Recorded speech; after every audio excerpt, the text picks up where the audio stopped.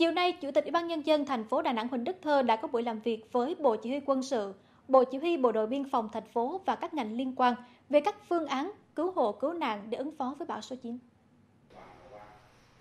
Tại buổi làm việc, Bộ Chỉ huy quân sự, Bộ Chỉ huy Bộ đội biên phòng thành phố và các ngành liên quan đã báo cáo cụ thể việc chuẩn bị nhân lực, trang thiết bị cũng như phương án cứu nạn cứu hộ cụ thể khi có tình huống xảy ra. Hiện nay các đơn vị đều đã sẵn sàng, tàu thuyền của ngư dân hiện đã được neo đậu an toàn. Các phương án về y tế, thông tin liên lạc, an toàn công trình xây dựng cũng đã được đảm bảo.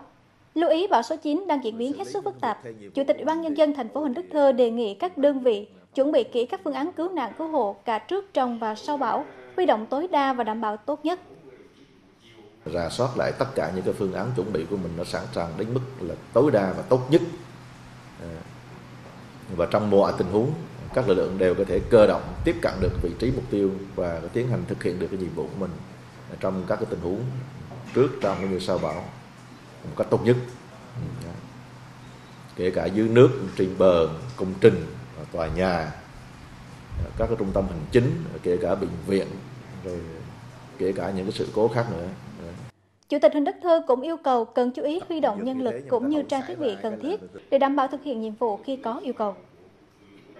xe cộ rồi phương tiện rồi cưa kích tất cả mọi thứ nó sẵn sàng phải tập dượt phải cho nổ thử hết. À, phát động phát là lên đường nó rạc liền.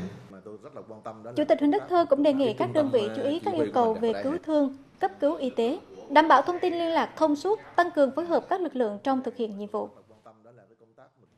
Trước đó vào chiều nay, Chủ tịch Ủy ban nhân dân thành phố Huỳnh Đức Thơ cũng đã có buổi làm việc với quận Ngũ Hành Sơn về công tác triển khai phòng tránh bão số 9 tại địa phương. Qua nghe báo cáo của địa phương, Chủ tịch Huỳnh Đức Thơ ghi nhận sự vào cuộc chủ động và quyết liệt của quận Ngũ Hành Sơn trong ứng phó với bão số 9, đồng thời lưu ý quận tiếp tục rà soát thực hiện tốt các biện pháp ứng phó phòng tránh, giảm thiểu thiệt hại khi bão số 9 đổ bộ vào đất liền. Trong đó cần lưu ý việc chằng chống cũng như bảo vệ an toàn cho du khách tại các khu du lịch ven biển, kiên quyết di dời các hộ dân trên các lồng bè nuôi cá trên sông, chú ý các láng trại tạm của công nhân tại các công trình và các khu nhà trọ sinh viên công nhân.